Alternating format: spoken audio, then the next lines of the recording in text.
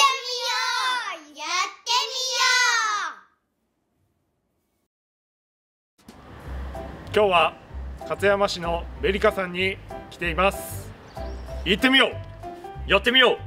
住んでみよう。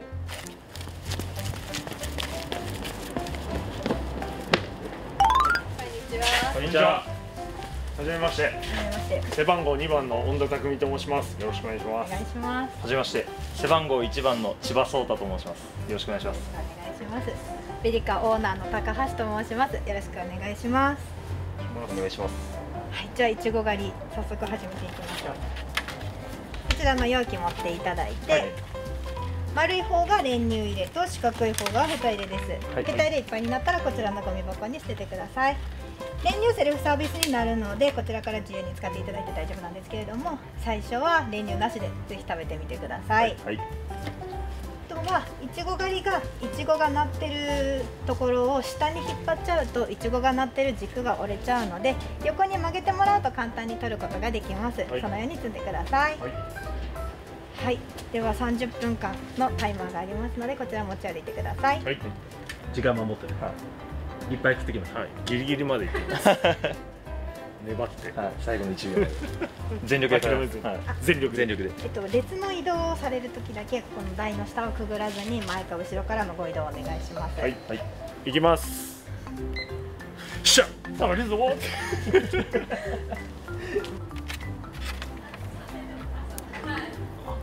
あ。いただきます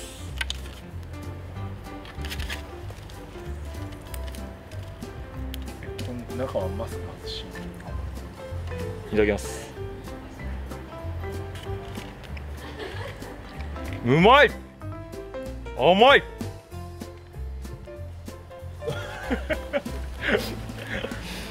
めちゃめちゃうまい。伝わってきてましたじゃあ僕も行かしてもらいます、こうして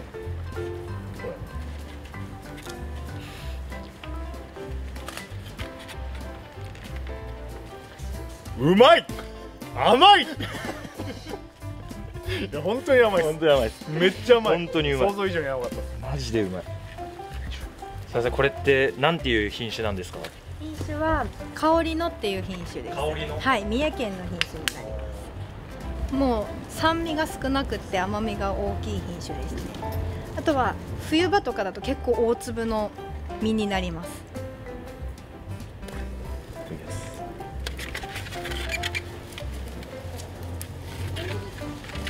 これはやばい。練乳付きいただきます。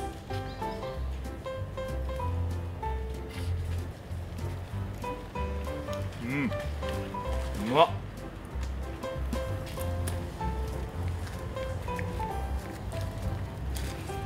めっちゃ食ってるじゃないですか。うん。甘いな。うん。え？少なくない？大丈夫？いやいや食べてますよ俺結構え？え？美味しくなかった？いや美味しいです。めちゃくちゃ美味しいんだけど。ちょあの僕も練乳いいっす行ってきますわ。ペース早ない。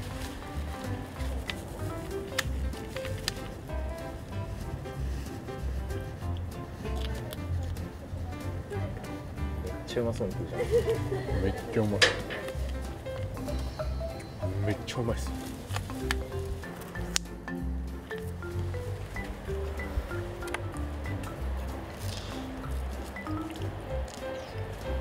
うん。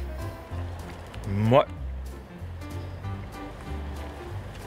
うまいしか出てこない。よ ねうまいしか出てこない。本当に。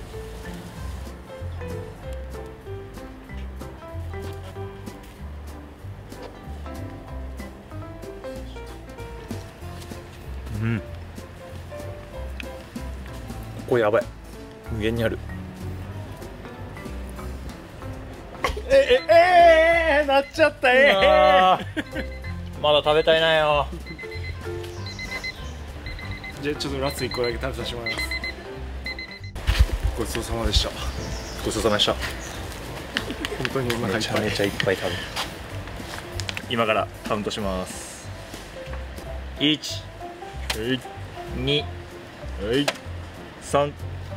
十七、三十八。個38もうないです。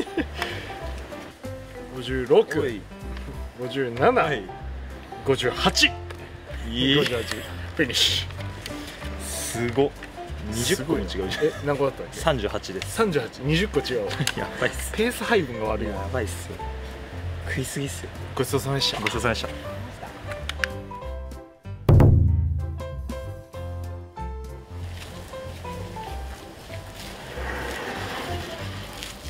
えっと、毎朝私たちはこの箱を持っていちごを収穫して店頭に並べたりするパックいちごのパックを作っているので今日は収穫から体験していただきます。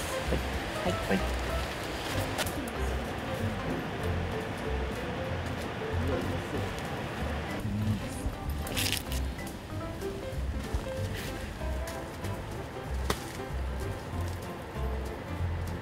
いっぱい詰めました。はい。いやめっちゃ積んできたやん。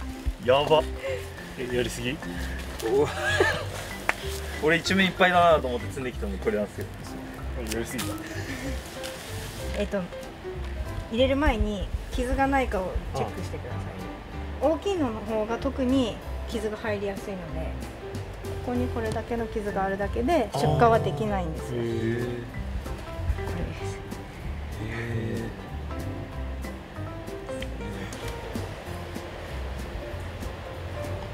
確認中に傷つけそうだ爪は絶対に短くしとかないとダメなんですよ。そうですよね指の腹で触る感じです、はい。い、ちごは。